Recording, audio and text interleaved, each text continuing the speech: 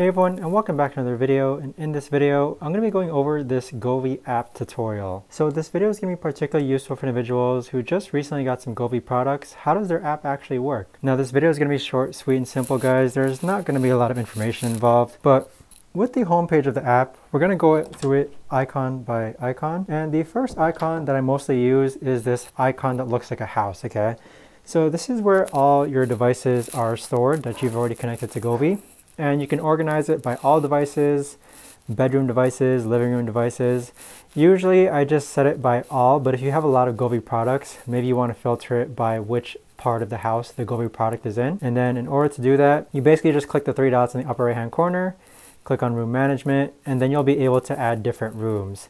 So let's say that one of the lights are within the bedroom. You can click on bedroom and then go ahead and add one of your devices that you've already added into here. Now, speaking of adding devices, in order to actually do that, you just click on the plus sign on the upper right hand corner. And then Govee actually does a really good job at scanning for new devices. So once you scan for new devices, it basically appears on the upper hand side and you simply just click on add. I must admit that Govee has made it really easy to add devices and I've really had no problems adding any of my seven devices that you see right over here.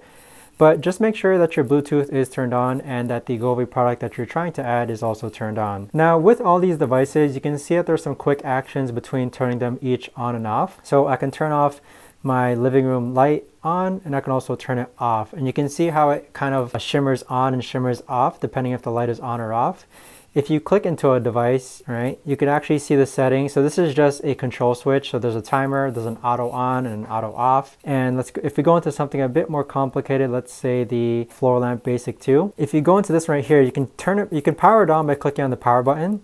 And then you'll see all the different settings that are available to this specific Govee product. So you can change its scenes, you can change its lighting, you can change its colors, you can change it to match music, you can change its bright brightness, so I mostly work on this page anytime I'm accessing my Govee app when it comes to turning on or off products. So I'd say the first step is to add all your products. And then the second step is to kind of familiarize yourself with what all the settings are within each of these Govee products that you have. So some Govee products have very little settings, like this one here, there's only three settings. But more robust products like their floor lamp or their TV backlight, tends to have a lot of different settings that you can customize and that's just one of the really cool things about Go. Now the other tab that I tend to use quite a bit is the second tab here where it says shortcuts panel.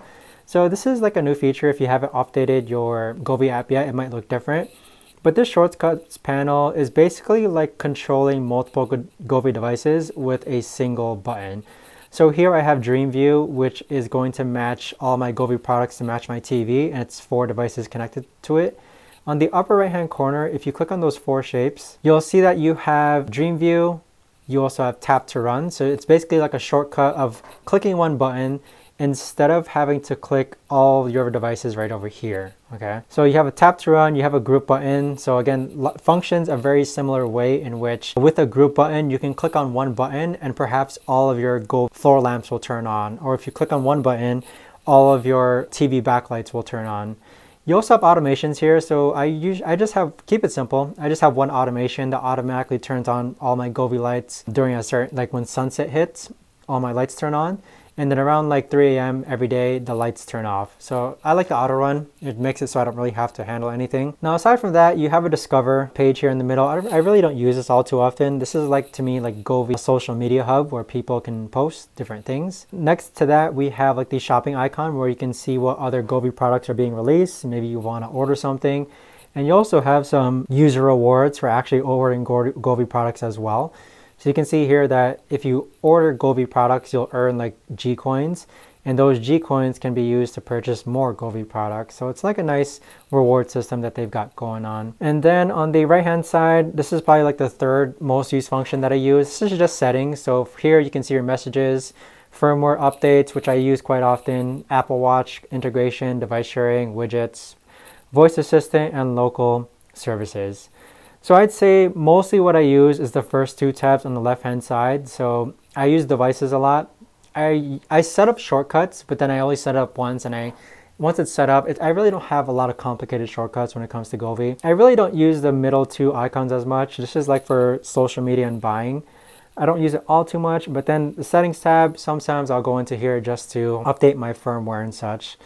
But that is essentially this Govee app tutorial. If you guys know of a better or easier way, or perhaps something that I'm missing, let me know in the comments down below.